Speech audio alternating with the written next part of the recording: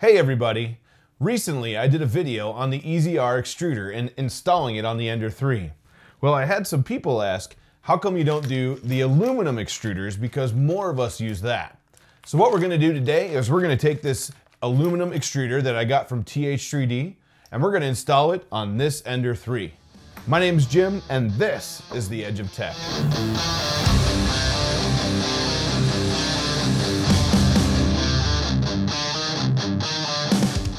All right, like I said, we're gonna take this Ender 3 right here, which right now the extruder is stock on because it's a friend of mine's. And we're gonna take this aluminum extruder from TH3D and install it. Now, I did that video with the EZR extruder and this one's just a little bit different. So I wanted to do that because a lot of people reached out and said, hey, we have the aluminum extruder or we wanted to order the aluminum extruder and we wanted to install that. So what I'm gonna do is uh, do the install video for you today. I know it's a little repetitive, but it is different than the EZR extruder. So some of the benefits of the aluminum extruders, uh, especially this one that I ordered from TH3D, is that it comes with upgraded aluminum, it comes with a steel feeding gear, all the screws you need to install it, it comes with a bearing for the filament guide, uh, two PTFE fittings, a high tension spring, you can print flexible adapters, and it includes support straight from TH3D. I know I listed off quite a bit real quick right there, but I tell you what, it is awesome. Before I installed the EZR extruder on one of my Ender 3s, I actually had this aluminum extruder also from TH3D. So you can pick these up all over the place, and some are better qualities than others. And you can find them on Amazon, and you can find them pretty much anywhere. But my opinion is order it from TH3D. It's only about 15 bucks and uh, you get the support from TH3D as well. If you order it from Amazon and you have trouble installing it or you have trouble with it coming down the road, you're not gonna get that support. That's why I chose TH3D. Some of the other reasons why we wanna do this is because this factory extruder from Creality, it will crack eventually. If yours is working and it's not cracked, awesome, keep using it. But if you notice, sometimes under an arm here, you'll get a crack. Some of the things you can look for is under extrusion, maybe clicking in the extruder. Bad prints is another sign. If, you, if you're printing and all of a sudden one day your prints just go bad, I would check out the arm, the plastic arm on the, the Creality extruder. If you don't see a, a crack from the top of it, look underneath it because a lot of times it cracks underneath where you can't see it. Anyways, that's a little bit why we're gonna do it and a little bit about the extruder we're gonna use, I think we should jump into it. Let's go. All right, so I went ahead to open the bag, and this is everything that comes in it with the exception of the tools. The tools we're gonna need for this is the wrench that came with the kit, the double-sided wrench there, and these three Allen wrenches, and everything else came in the bag. So we have your aluminum arm, the PTFE fittings, uh, in this case, we're not going to use because we replaced them in the Capricorn video, but it does come with them, which is awesome. We have our steel uh, feed gear here. We have the high tension spring. And we have this right here, which actually goes inside there.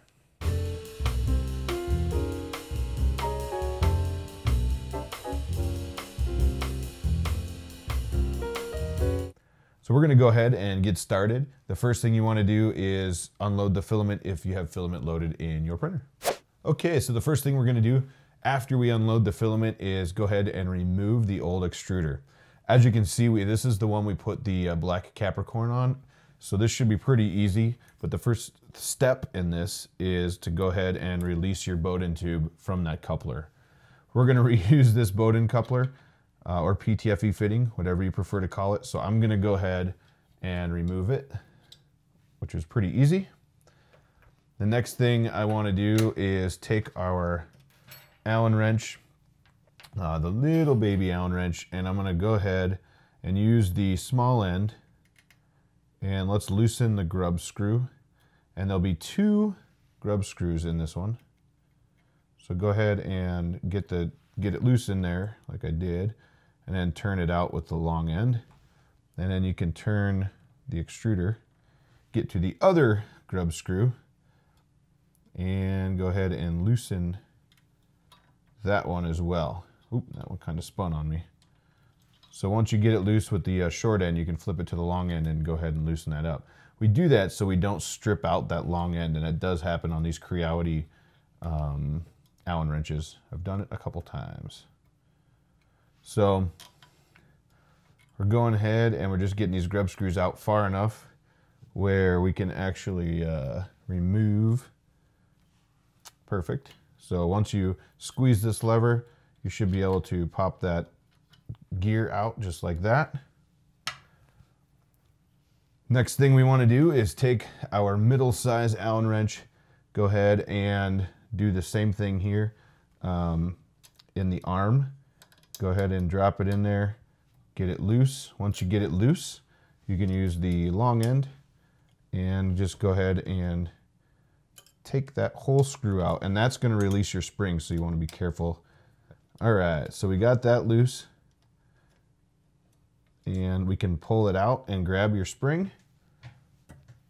And then what we're gonna do is go ahead and take your arm and just remove it like that.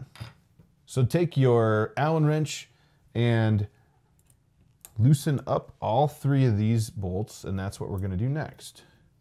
So once you get them all three loosened, and there is three total, if I can get to that one, there we go. So there'll be one, two, three. Then you wanna take your Allen wrench and just loosen up those. And you can take the first one out with no, no problem. You want to hold on to the stepper motor down here when you start doing the next two because it will fall. What's holding it up to that plate are these three screws. So you want to be very careful because you don't want your stepper motor to fall down or potentially damage it or your bed surface. Slowly take those out just like that and set it down. And I like to set mine right on the bed, which as long as you're careful is okay. After you got the stepper motor down on the bed, lift up and remove the rest of the extruder that came from the factory. And you've successfully removed the factory extruder. Now we're gonna start installing the new one. So what you wanna do next is go ahead and push your stepper motor up like that. Take the brand new aluminum part of the base of the extruder and put it there. Then you're gonna take two screws and they're the same size and there's only two of them and you're going to go ahead and get them started so we can hold the stepper up. So you want to push it in there, take your Allen wrench, um, take your Allen wrench of the right size and just give it a couple turns and let's get that stepper motor so it's not going to fall. Then take the next one and it goes in just like that. and you can go ahead and screw that one in. And you may have to line it up um, just to get it through the plate and into the stepper motor. But once you do, it should just pop right in. Now I'm not gonna tighten these completely down yet. I'm, I'm gonna get the other ones in first and then we'll tighten that completely down. You wanna grab the small screw and that goes in this corner right here. Now something different about this, it's actually a Phillips head. And so I grabbed a Phillips head screwdriver and we're gonna go ahead and just tighten that one down. And it should be flush when it's nice and uh, tightened in. Again, I'm not tightening it all the way yet until I know we're good. And you can kind of feel uh, if you have any shift in here, you wanna make sure you kind of shift it this way. It shouldn't shift with this extruder, so you should be fine. So go ahead and tighten that one in. So you're good to go there. Grab your Allen wrench and use the small side. Tighten these two in. So now we got this screw, this screw, and this screw all tightened. The next thing we want to do is start mounting the arm.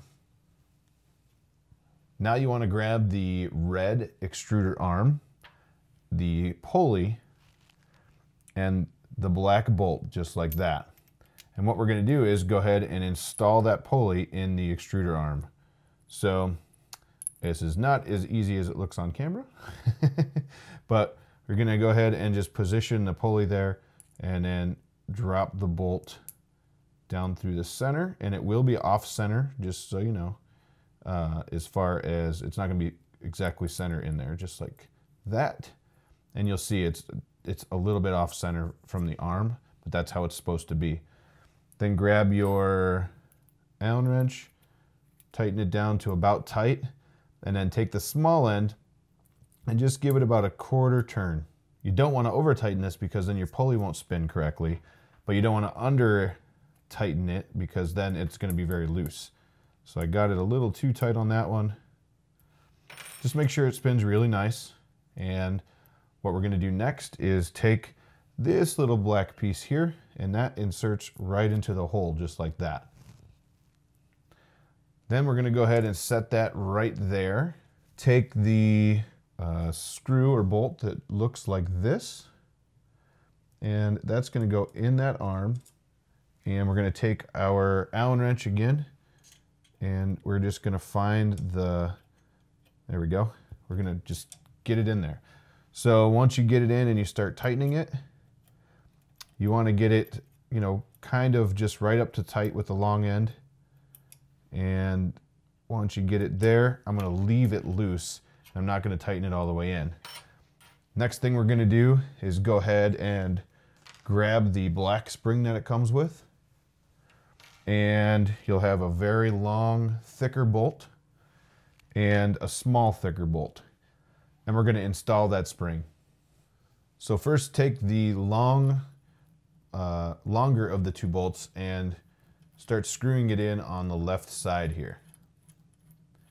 Then put your spring in and screw your bolt right into the center of the spring.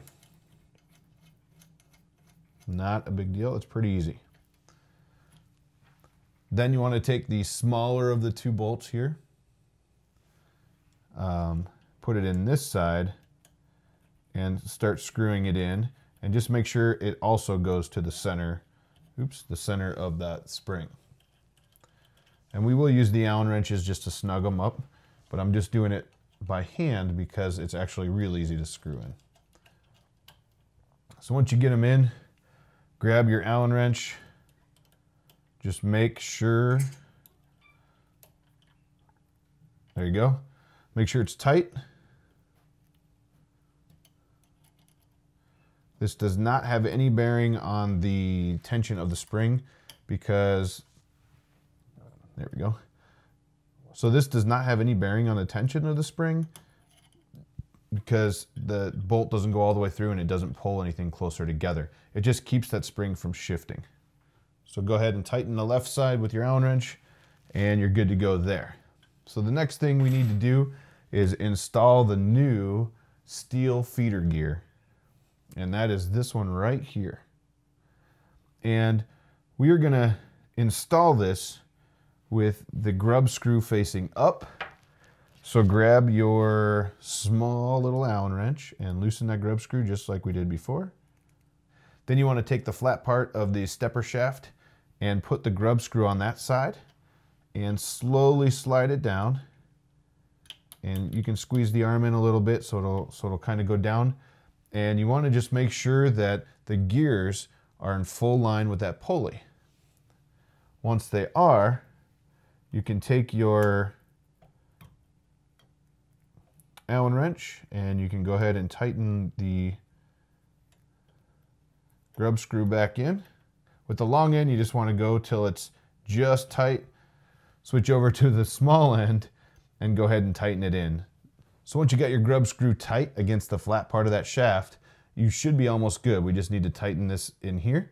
Uh, the reason why I like to do it, even though the spring's in the way, the reason why I like to do it this way is because the spring causes tension against that grub screw. And you're gonna know exactly with the tension where that pulley is gonna hit. Um, and it holds it there. So if you want to do this, you can do it before. You can put your uh, steel gear there on before you put your spring on. It's a little easier to tighten down. I just prefer to do it after the spring. So take your Allen wrench and tighten down this corner one and it should be pretty close. So I'm going to take the small end of the Allen wrench and put it in this last corner that we need to tighten and just give it maybe like a quarter turn just like that, just so it's tight.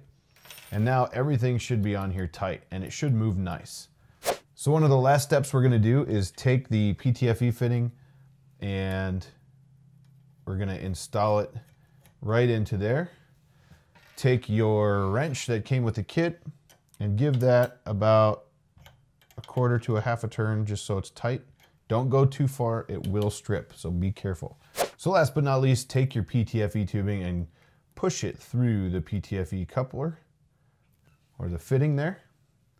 And you'll notice that it will come out the other side and there's nothing stopping that. So at this time, we don't want to do that. We want to push the coupler in and just back it up a hair and just make sure it's right inside. You'll see a tapered area here and you want it right inside that tapered area. So when you feed your filament in, it goes in and feeds right into that uh, PTFE tubing. So there is a printed piece you can grab from the product page on TH3D's site that sits right in here. And it allows you to print flexible filaments much easier. It's highly recommended once you get the extruder on, you can actually use that for your first print and then put it right in there. It works really good.